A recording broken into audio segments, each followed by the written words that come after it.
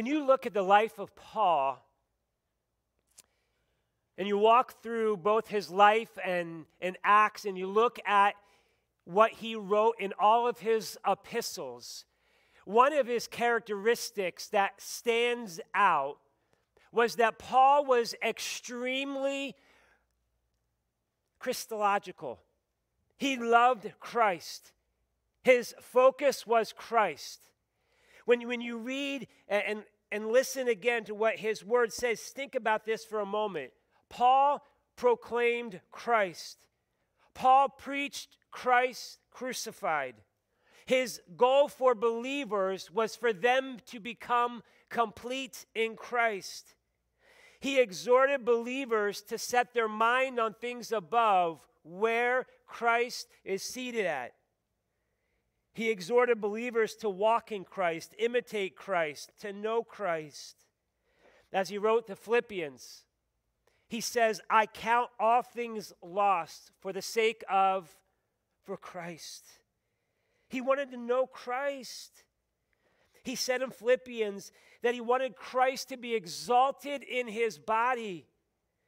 For him, it was greater to depart from earth so he could be with Christ.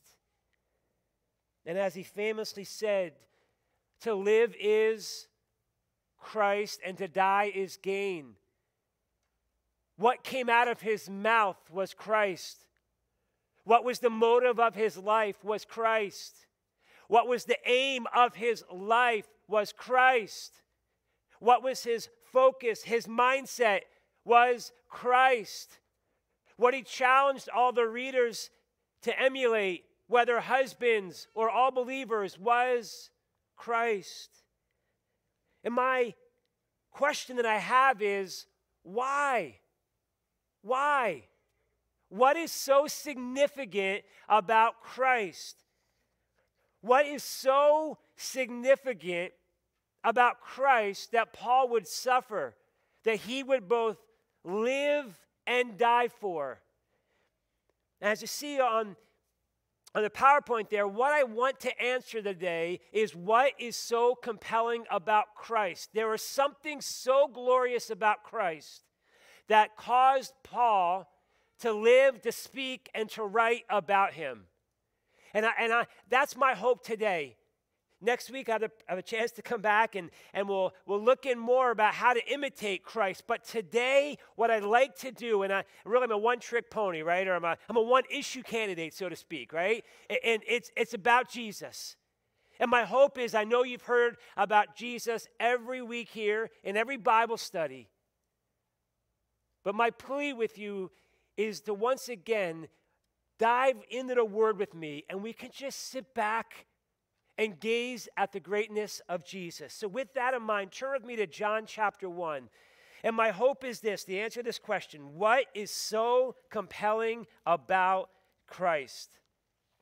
What is so compelling about Christ? And what I like to do today in my pursuit is we're not going to only go through one particular passage in the book of John, but what we're going to do is we're going to look at four passages and we're going to see four characteristics that made Jesus so compelling. Yes, I know. We, we could go through week after week after week after week and look at attribute and after attribute after attribute about Jesus. And it's exhaustive. I mean, that's why John said he, he couldn't even put every, all the works and there's all his miracles in this book because there be too many. So I have tried to condense it uh, today. And so the first attribute that, that amazes me about Jesus is that he is creator. He is creator. And please follow along as I read John chapter 1, verses 1 through 3. And John writes, In the beginning was the Word, and the Word was with God, and the Word was God. He was in the beginning with God.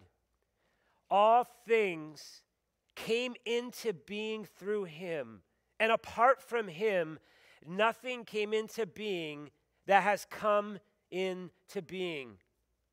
John doesn't hold back. As soon as he writes this gospel, he declares that Jesus is God.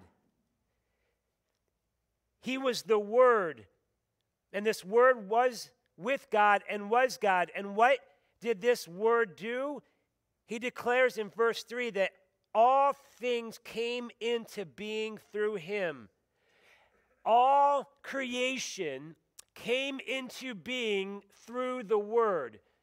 Now, just by way of study, when you're reading this, sometimes I know I've asked myself, well, what is the word? That, that's a unique phrase. And so if you look down at verse 14, John helps us know what the word or who the word was more accurately. Verse 14, and the word became flesh and dwelled among us. And we saw his glory, glory as the only begotten from the Father, full of grace and truth. The Word, who was the Creator, became flesh.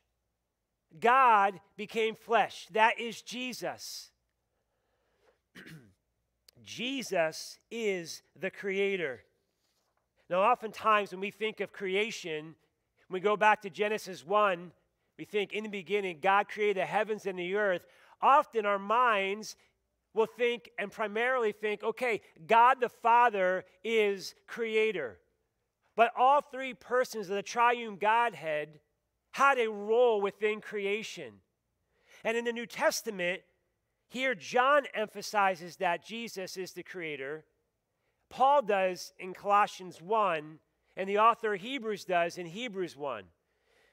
In Colossians 1, verses 16 and 17, this is what Paul wrote For by him all things were created, both in the heavens and on earth, visible and invisible, whether thrones or dominions or rulers or authorities. All things have been created through him and for him. He is before all things, and in him all things hold together. Paul declared that through Jesus, everything that we can both see and not see is and was created by Jesus. In Hebrews chapter 1, in verse 1 and 2, the author writes God, after he spoke long ago to the fathers and the prophets in many portions and in many ways, in these last days has spoken to us in his Son, whom he appointed heir of all things, through whom also he made the world.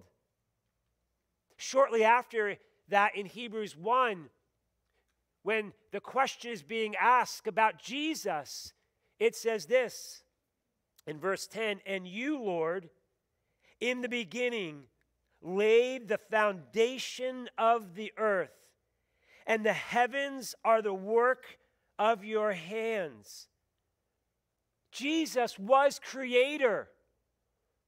what is so compelling about Jesus is that he was creator.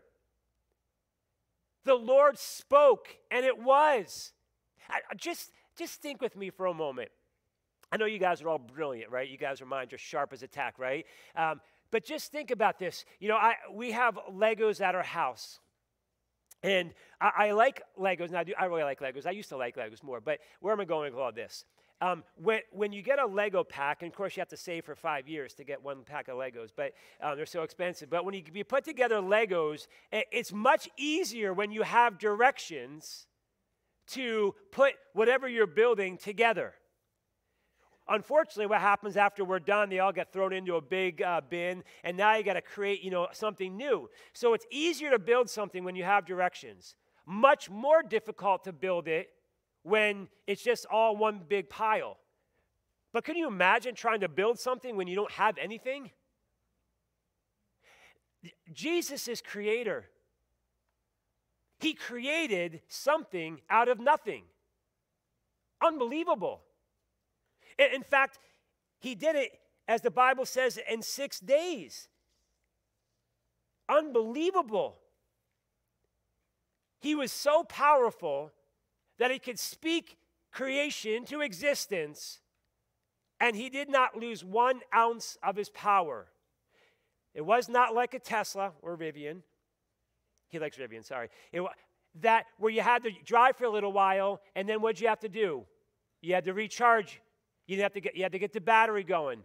His battery never was depleted. This is Jesus. You know, let me just tell you some things about creation. A long time ago, back in the 90s, I had the privilege of majoring in biology, getting a minor in chemistry.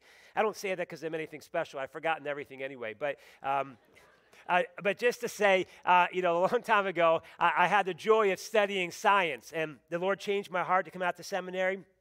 But when you think about creation, you think about Jesus, not only did he create something out of nothing, but let's consider for a moment some of the greatness of his creation. And I, this is from one book on creation, and it talks about sea cucumbers. And sea cucumbers, you know, we're not, hey, somebody, you come this way, hey, what's your favorite creature? Nobody, nobody raised their hand, hey, sea cucumber. They're, yeah, it's probably, oh, really? Okay. That, that's not what they say. But if you think about a sea cucumber, these sea creatures, they feed on plankton, tiny shrimp, and other organic particles. What's interesting about them is that eh, there's a peculiar variety of fish known as the pearlfish, and this takes shelter during the day inside the sea cucumber. Now, interesting about the pearlfish, though, you know what it does during the day? It feeds on the internal organs of the sea cucumber. Now, that would not sound good. It doesn't sound good. But the sea cucumber is not harmed by this. And why is that? Because it can regenerate its own organs. The sea cucumber has an amazing defense organism. When it's attacked, it can expel all its organs. But good news, it can regenerate them all. And so, Eh, so it's, it's, back, it's back to square one. Another defense mechanism by the sea cucumbers is that it, it creates or secretes a glue like substance. And some have said if you get this substance on your hair, you're not going to get it off unless you shave all your hair. It wouldn't take me very long, but, but I say that to say is this is a sea cucumber. Who not only thought about a sea cucumber? The Lord. Who not only created a sea cucumber? The Lord. See, it's not, it's not just what so amazes me is the power that Jesus showed by creation, but it's the wisdom, the triune Godhead in coming up with all this. You know, one of my favorite classes in college was when I took anatomy and physiology, because every day I was blown away by how much I don't know, one. But two, the, the body is so intricately made. Let me give you another uh, creature, a woodpecker. They're, they're, it's called a red cockaded woodpecker. And these, these, and these birds, they can peck up to 500 times a minute. So they strike the wood with a tremendous force of eight times per second. I know you, some of you mathematicians are thinking through this now, right? And the bird's beak hits the wood at the speed of about 13 miles per hour. Now, just think about doing that 500 times a minute. I mean, I have a headache just thinking about that at the moment, right? But how can this bird survive doing that? Good news. His head is constructed with a built in shock absorbing system that cushions the brain. I, mean, all these vehicles nowadays have airbags and everything that, what? To help you in terms of impact. And here, the God of the universe created a bird that has a built in shock absorbing system. This is God. This is our great God. This is our glorious God. He is creator. And you can just walk through many different things, right? I mean, one of the things we were amazed about, even thinking about creation, is we joke about my, uh, my wife being pregnant. Um, lo and behold, our dog got pregnant um, last, uh, last year. Um, and, uh, and she had nine puppies, go figure, five girls and four boys. Um, and, um, and so my wife's dream of being a midwife, right? Uh, um, she, she, uh, she helped deliver all the puppies. And, um, and, and I say all this to say it, it, was amazing, right? We didn't have to teach our, our dog, Dakota, how to be a mother. She just instinctively knew. She, she, we didn't have to t- teach her Lamaze, right? I wasn't sitting there, you know, we weren't doing any of that stuff with the dog. She just instinctively knew. and we just sat back. We were amazed and just say, wow, God has caused this dog to know that. And we, we were amazed and just to watch her take care of her puppies. I wish she would have done it longer. Um, but, I, but, but I say that we were just amazed by here this, our great God designed this animal in this way. So when I think about what Paul wrote, and he, he was so and uh, desirous to please Christ, what is so compelling is that he's creator. He made you. What is also so compelling about him? He is all powerful. Turn with me to John chapter 6. Now, to be fair, his creation is an example that he is all powerful. But I wanted to give you a big picture of his omnipotence here in John chapter 6. What is so compelling is that the one that we sing about, the one that we identify with, he is the all powerful God. In John chapter 6 and verse 15, Jesus had just fed thousands of people, up estimates up to 20,000 people. I 5,000 men if they were married and children, up to 20,000 people. And after he fed all those people, look at me at verse 15. And John writes, so Jesus, perceiving that they were intending to come and take him by force to make him king, withdrew again to the mountain by himself alone.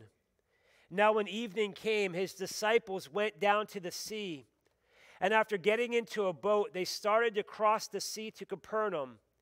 It had already become dark, and Jesus had not yet come to them. The sea began to be stirred up because a strong wind was blowing. Then, when they had rowed about three or four miles, we'll pause right there. So, what is going on here? Jesus had just fed, as I mentioned, all these people. He goes and he's taking some time to be alone. The disciples get into a boat and they want to cross the Sea of Galilee to the other side. These disciples, many of them were fishermen, which you can assume they knew how to what? Fish. They knew how to get in a boat. They knew how to navigate a, a vessel in the, in, in the water, right? And how to get from one side to the next. And so, what happens? The sea began to be stirred up because a strong wind was blowing. when you look at all the accounts of, of this story in the different gospels, a, a sudden storm arose.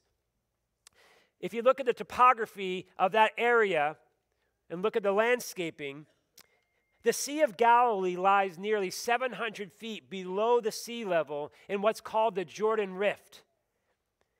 And the hills, they, they say they rise up to 2,000 feet above sea level. So there's almost a 3,000 foot gap, right? In, I mean, distance and elevation. And what happens is because of this sharp drop of nearly 3,000 feet, it creates violent storms the cooler air often would rush down and, and touch the surface of this lake, surface of the sea, and it would churn up the water into these white caps and create dangerous conditions for small boats. These disciples were now in this spot. They were rowing. Look how long they rowed. It says in verse 19, then when they rowed about three or four miles, now, you may say that's not that far, right? I don't know if you ever tried to do it in a canoe before, three to four miles, or in a rowboat, right? Um, it, that's a lot of work. I know for you guys are all strong, right? But you know, for me, it'd be a lot of work. And but I bring that up to say, if you look at all what was going on, they started in the evening between six and nine, and we look at the account. What we find in the other accounts is that when Jesus comes to them, which we'll see in a moment, it was the fourth watch in the night which was now early in the morning between 3 and 6 a.m. And so when you put it all together, they had been rowing potentially from 6 p.m. in the night almost to 6 a.m. in the morning. Even if you truncate that hours in any way, you could say nine hours of rowing. and they were not able to get to the other side, right? Because of this storm. The storm was stifling their ability to achieve their goal of getting to the other side. The storm was that virulent, it was that violent. And what happens? Verse 19 they saw Jesus walking on the sea and drawing near to the boat. They're not able to make progress because of the undulating waves, right? Up and down, up and down. And Jesus just walking like a just like a day at the park. A nice stroll coming out there.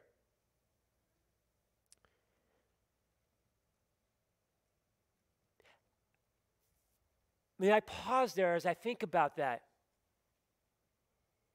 He was able to do what they couldn't do. One phrase that comes to my mind when I think about Jesus is He is and does what I am not and cannot. Jesus is and does what I am not and cannot. This is Jesus. What humanly they were not able to do, Jesus did. And look here in verse 19 Jesus walks on the sea and he draws near to the boat, and they were frightened. But he said to them, It is I, do not be afraid. His power was seen that he could override the properties of H2O. If you think about his ability to control H2O, or as I, you know I say is water, Jesus had the ability to turn water into wine. Jesus had the ability at a storm to say stop and it would stop. Jesus had the ability to have the properties of H2O to be able to walk as if it was a hard surface. Who can do this but Jesus? He is that powerful. He is all powerful. Not only does he have the power over dihydrogen oxide, right? Look what it says Verse 21 They were willing to receive him into the boat, and immediately that boat was at the land to which they were going. What's fascinating about this, we understand that word immediately. Jesus gets into the boat, and they were in the middle of this sea, and immediately they were on the other side. Somehow, they had because of Jesus, they were able to move from that middle of the sea immediately to the other side. Who could do that? Jesus. Who could trans- transcend time? Jesus. Who has the power over any property, over any demon, over any, any other authority? Jesus does. This is Jesus. He is all powerful. He could touch somebody and they be healed. He could say, You are healed. He could say, Lazarus, come forth. And who came forth? Lazarus did. He is all powerful. You have heard these stories before. But I think, I, I, know for me, I'm guilty of this. I forget about his great power. When I am walking through a trial in my life and it seemingly never ends, and I, I, I think, Lord, I know you're powerful, but tragically, I doubt it. And, and yet, Paul could say, I can do all things through whom? Through Christ who strengthens me. I'm guilty. I'm guilty. I'm ashamed that I, I, I don't lean on that. I don't trust that. But this is Jesus. He's the all powerful God. Listen to what John Piper said. With a word, Jesus commands the dead to live again. He rebuked a fever and it left Peter's mother in law. He planned for a fish to swallow a coin and then get caught with Peter's hook. And as he takes five loaves and he fed 5,000 men, and he makes a fig tree wither with his curse. Who can do this? Jesus.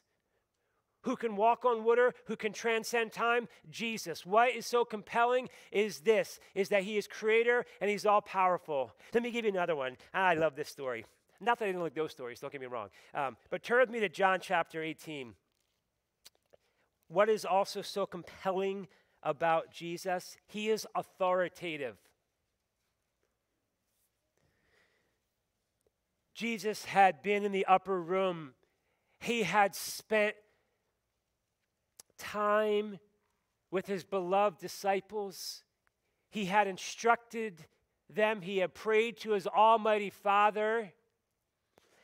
In the time of his arrest, the time when he would be physically assaulted was at hand, the time when he would hear his father say, and, and, and ask his father, Why have you forsaken me? That is, was at hand. And Jesus in John 18, this is what it says. And John was right, an eyewitness account, and John writes, When Jesus had spoken these words, verse 1, if I didn't say it, I apologize, John 18, 1.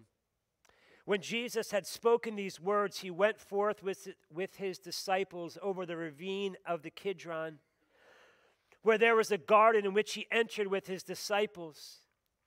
Now, Judas also, who was betraying him, knew the place, for Jesus had often met there with his disciples.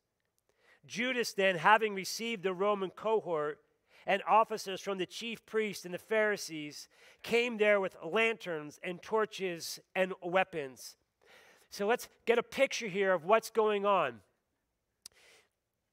There's a garden, and Jesus and the disciples are there, and they go there. And who shows up but Judas? And Judas didn't show up with just some of his buddies, just a small posse right? Jesus, excuse me, Judas shows up to her to go after Jesus with a Roman cohort. And a Roman cohort um, often numbered 600 men. And it wasn't just 600 men who were amateur soldiers.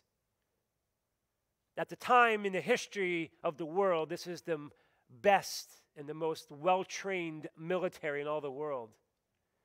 Now you have 600 of them come with Judas. But who else comes? And officers from the chief priest, the temple guard, officers that gave protection, security, high skilled security is with these chief priests and the Pharisees. So all these people come, maybe 800, if we think all the, all the leadership plus all the officers the Roman cohort. And here's Jesus with the band of, of these disciples that are with him. And not only did they come, what did they come with? Came with lanterns and torches and weapons. They came armed. Now, some of you may say your, your fist and knuckles are all you need, right? But, but these came armed. This is the situation. I love what happens here, verse 4. So, Jesus, knowing all the things that were coming upon him, as I mentioned, all the things that he was about to do, he was going to lay his life down all the things that were going to come upon him, went forth and said to him, said to them, excuse me, whom do you seek? They answered him, Jesus the Nazarene. He said to them, I am he.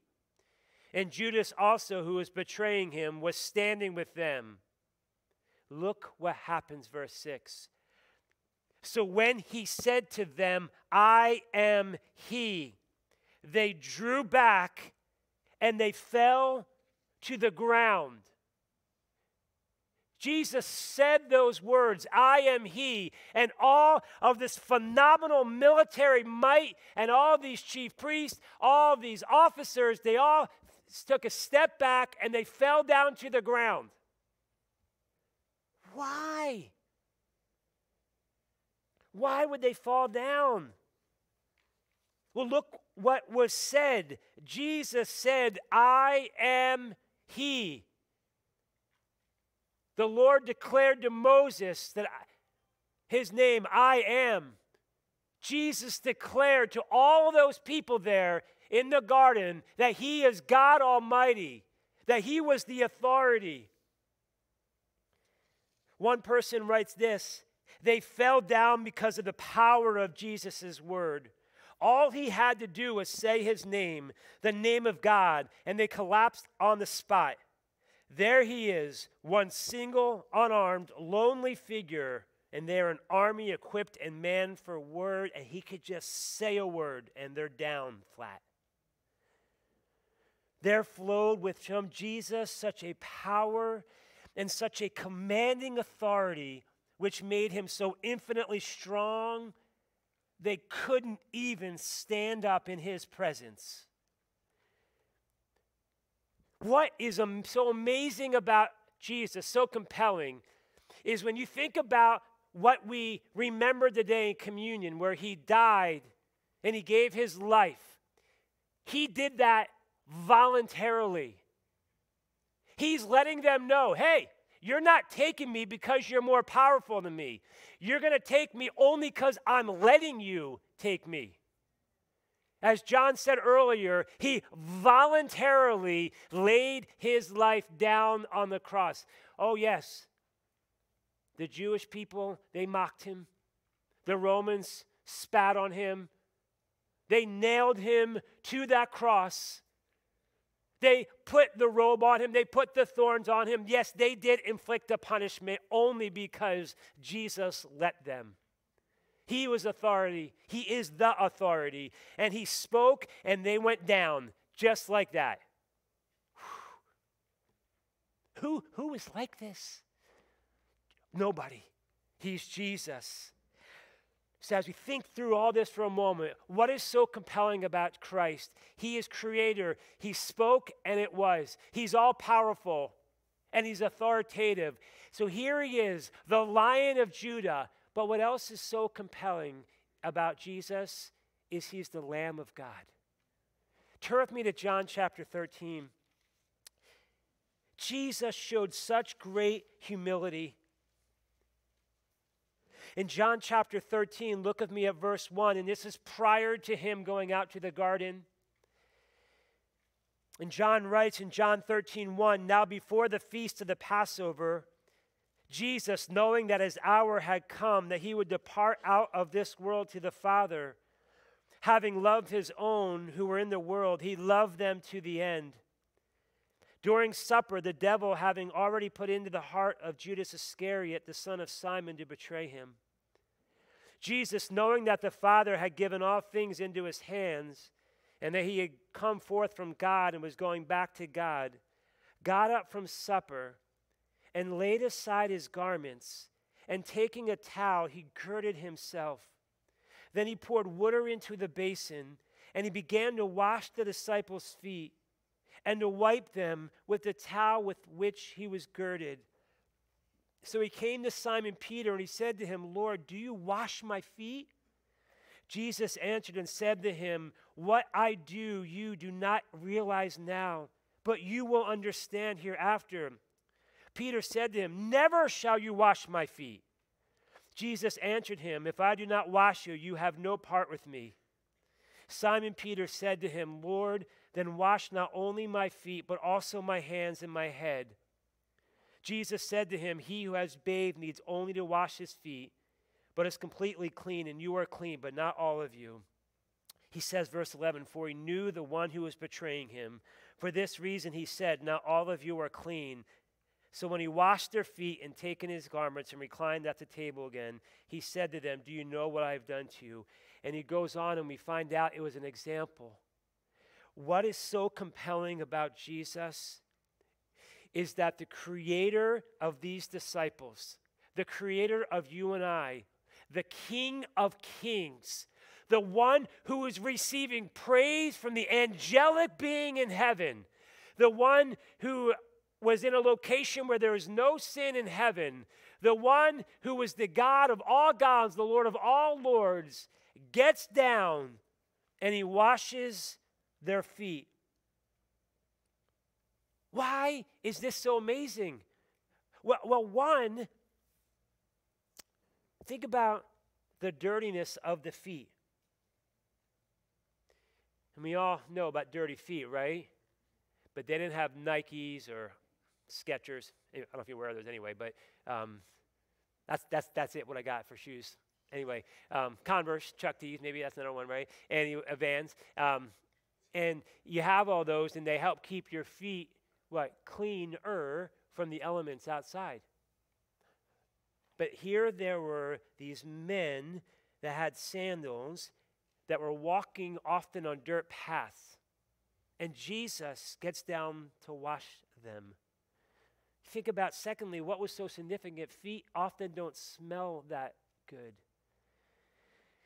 Our children play soccer, regrettably. I'm joking. Um, I, I, love soccer, right? Um, but they play soccer, and some of them have, have they, have been blessed to play collegiately. But I, I say all that. We've been around soccer for a long time.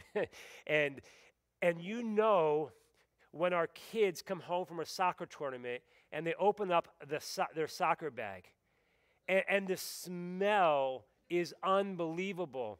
Even our dogs run away from that smell. I mean, it's, it's that bad. And, and it's like, whoa. And, and, and here Jesus is, not a big deal. He washed these smelly, dirty feet. A third reason it was so significant for a superior to wash the feet of an inferior was absolutely unheard of in the Jewish or Roman culture. R. Kent Hughes says this This was an electrifying act. The Midrash taught that no Hebrew, listen closely, even a slave could be commanded to wash feet. Yet Jesus did it in the humblest way possible, clothed only in a servant's towel the incarnate Son, God Himself, had stripped Himself and washed the feet of His prideful, arrogant creatures. End of quote. The feet were dirty, smelly. It was a superior to an inferior. What else I find so amazing about this passage is that not only did He wash the disciples' feet, from what we can gather, He actually washed the feet of Judas Iscariot. He was still there with them, even though he was going to betray Jesus, he had not yet gone to betray Jesus. John MacArthur writes this in relation to this text. He says, Incredibly, incomprehensibly, the glorious Creator and ruler of the universe was about to humbly wash the disciples' dirty feet, a menial task reserved for the lowest of the slaves with such power and status at his disposal. We might have expected him to defeat the devil in an immediate and flashy confrontation and to devastate Judas with an unstoppable blast of divine wrath. Instead, he washes his disciples' feet, including the feet of the betrayer.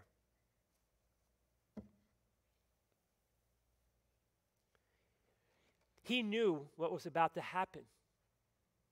He knew that a man whom he had walked with and had counseled and had spent many days and nights with was about to betray him. You know, it's easy when somebody stabs you in the back. Well, maybe it's for me, you're like, oh, what? What'd you say? And you want to get back at them. Here, Jesus doesn't do that. He overcomes evil with good. Now, ultimately, Jesus came for what reason to earth? He came to die. He came to give his life. He knew why he had come, and, and he knew what was going to happen with Judas was part of God's eternal predestined plan. And yet he washes this man's feet. It is so rare in this day and age to actually see people show humility let alone a superior, let alone the king, show humility. But this is who Jesus is. When you think about what Philippians talks about, when Paul writes to the church of Philippi and he gives them instruction on how to be unified, the key to unity, he says, is humility. And he, and he says, Let me give you the example of humility. And it says, Have this attitude in you, which was in Christ Jesus. Philippians chapter 2 and verse 5. And it goes on, Paul writes about Jesus, who, although he existed in the form of God, did not regard equality with God a thing to be grasped. And it goes on to say how he, he became obedient to death, even death upon a cross. Parents, we love our children, but at times, well, not our children, of course. I'm kids on the East Coast, as Jack used to say, right? I'm joking, but um, right, they, they were what? They, they were, they're hard to deal with. You know, you're sitting there and they, they tap you and they tap you and they tap you, right? Or they do stuff and they break stuff and break stuff and they break stuff. I joke, right? And, and you get tired of that. And then you, but then what are we supposed to do? We want to we wanna love them. Even though when they may not say thank you back to you, even when they may not honor you as, as what the Bible says. And I only bring that up to say that's such a minimal example compared to what Jesus did. What a glorious Savior. What is so compelling about Christ is He is creator, He's all powerful, He's authoritative, and He's humble. I want you to turn with me to 2 Corinthians chapter 11.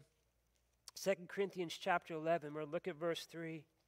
You all know what I have just walked through the book of John. You've heard about Jesus. If you've been here at Calvary at time with Jay and all the elders and all the men who have gone before you, to preach the word of God. That this, this has been a church that, that has proclaimed Christ. And yet, this is my, my concern for my own soul and for the for here and for the Christians in America around the world. Verse 3 of Second Corinthians. But I am afraid that as the serpent deceived Eve by his craftiness, your minds will be led astray from the simplicity and the purity of devotion to Christ. Let me read that again. I'm afraid that as the serpent deceived Eve by this craftiness, your minds will be led astray from the simplicity and purity of devotion to Christ. Paul was a pastor. He wanted the, the Christians at Corinth not to forsake Jesus. He didn't want them to go astray. Hold fast to Jesus. So, what can help you and I do that? You pick a gospel, read the gospel, just sit and think about who Jesus was, what he said, what he did. Beg God, Lord, help me to love you every day. Help me to delight in you. Lord, where I am falling short, I am pleading with you, God. Help me to remove it. Help me to be satisfied in Christ and Christ alone. Jesus is much more satisfying than a Snickers bar, right? This is who he is. And we have, I, I say, me, I, I lose sight of that. There's so many things that come in our lives good things, hard things. And I don't want to minimize those in any way, but I know I'm guilty. That I let those things just take my gaze off the glory of Christ. When I went to Cedarville University back in the day, back in the 90s, I'm older. I don't mean to diminish anybody who's older than me by saying you're old, so I apologize. And uh, I know you've probably heard this story before. A snowstorm had hit Philadelphia where I had grown up, and it was a blizzard. My parents woke me up at like three in the morning. They said, John, you got to get on the road now. I go, what are you talking about? And they go, you got to call you all these, all the other college students that are, um, that are going to ride with you back to Cedarville. I said, Mom, it's three in the morning. And they go, we thought the snowstorm was just going to be a small one, but it's a blizzard. So I, I called the other guy. Back then, you, you had the old, you know, rotary phone. You know, we didn't have a cell phone and even a pager. Um, and so I called them. They finally get there, and we leave. We leave my house about 5:30, and it's it's just snowing crazy. And I, I drive from Philadelphia and I, I, I get to the Pennsylvania Turnpike, toll road to, go across Pennsylvania. Normally, you know, it takes like half an hour. It took me much longer than that. I'd already seen like 20 or 30 accidents and, and even uh, people that knew how to drive in the ice and the snow in Philadelphia because the conditions were so bad. Uh, people were sliding off the road. And here I am in a station wagon. Um, and with three other kids. By this time, I'd already fallen asleep. Um, and I'm driving, and I never drank coffee before that moment. Um, anyway, and so I'm driving. I'm like, what am I even doing driving? And so we, we, we drive across the turnpike, and Pennsylvania has mountains, not like the mountains out here, but they still have mountains of 3,000 feet. And we're driving, I see cars in the distance. I'm on the, on, the, on the road spinning out, and I'm like, okay, I can't slam on the brakes. You just kind of gently get off the brakes and you slow down. And by God's grace, we didn't hit them. And, and so we make it halfway, um, and it normally takes about eight and a half hours. It was already like seven hours in. And we, we stopped for lunch and we stopped to fill up gas and I got some more coffee. And, um, and I talked to my friends, How are you guys doing? Oh, we're doing great, Sean. Um, they've been sleeping the whole time.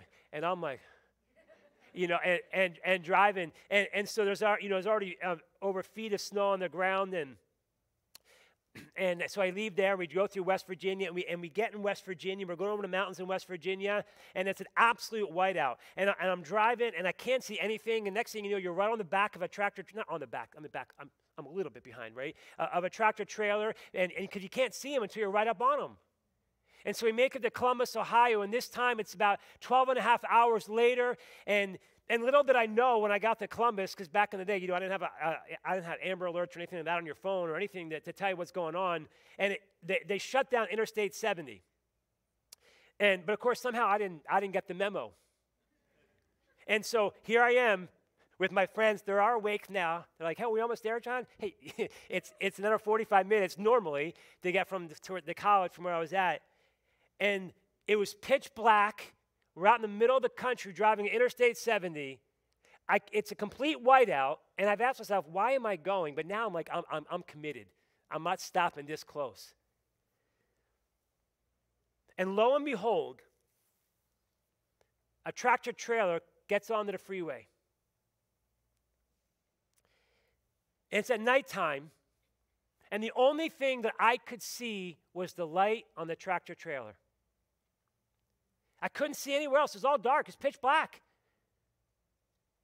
And so all I could do was look at that light and follow the light. By God's grace, he actually got off at my exit, which is crazy because it's a small exit through a country town. And he got off, and I was able to follow the light.